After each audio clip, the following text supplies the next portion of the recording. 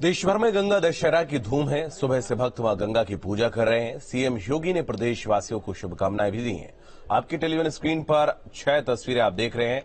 आपको बता दें, आज ही के दिन माँ गंगा धरती पर अवतरित हुई थी। तो ये तस्वीरें वाराणसी, अमरोहा, फरुखाबाद, प्रयागराज और हरदोई की हैं, जहाँ पर श्रद्धालु आस्था की डुबकी लगाते हुए नज़र आए।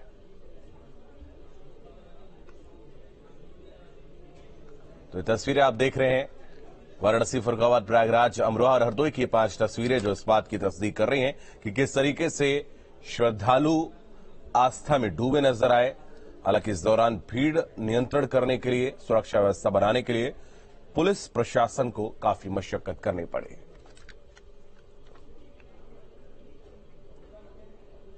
मथुरा में गंगा दशहरा के पावन पर्व पर यमुना के घाटों पर इस बार श्रद्धालुओं की संख्या घटी है।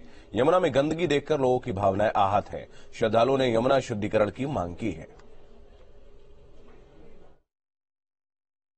आज गंगा दशहरा का पावन पर्व है और यमुना के घाटों पर श्रद्धालु स्नान करने के लिए आए हैं। देखिए तस्वीरों में किस तरीके से श्रद्धालु यहाँ पर स्नान कर रहे हैं। लेकिन तस्वीरें कुछ अलग हैं। पिछली बार बड़ी संख्या में इन घाटों पर श्रद्धालुओं का आगमन था और बड़ी संख्या में यहाँ पर डुबकी लगा रहे थे, लेकिन अब की बार जो श्रद्धालुओं की संख्या काफ़ी तादाद में कम हुई है। माना जा रहा है कि यमुना में जो गंदगी का सैलाब है, उसे देखकर श्रद्धालुओं की भावनाएँ आहत हो रही है। कहना चाहता हूँ कि यमुना जी के लिए आज दशहरा है। आज दशहरा के दिन ये सभी लोग स्नान करने आते हैं। बसरते यमुना जी का शुद्धिकरण, आज के मेयर साहब, पुराने मेयर साहब और शासन, प्रशासन द्वारा हम यमुना पत्र हैं। यमुना जी के लिए हम ये चाहते हैं शुद्धिकरण हो और इसके लिए हम सब कुछ करने के लिए तैयार हैं। तो यहाँ के लोगों का कहना है कि हमसे भी जो सहयोग चाहिए, हम सरकार को करेंगे, लेकिन अब यमुना का शुद्धिकरण बहुत ही आवश्यक है। लंबे समय से ये उनकी जो मांग है, वो दरकिनार की जा रही है, लेकिन यहाँ पर जो संख्या है लगातार, श्रद्धालुओं की कम हो रही है और यमुना में जो गंदगी है, उसमें स्नान करने से श्रद्धालु कतरा रहे हैं। Ajit Saraswat news state Mathura.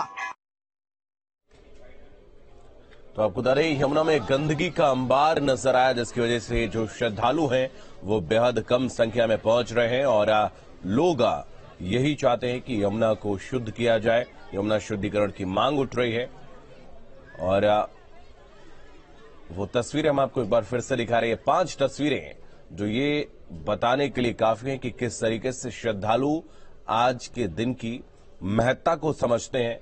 और वाराणसी, अमरोहा, फरुखाबाद, प्रयागराज, हरदोई की ये तस्वीरें, लेकिन न सिर्फ़ इन पाँच जिलों में, बल्कि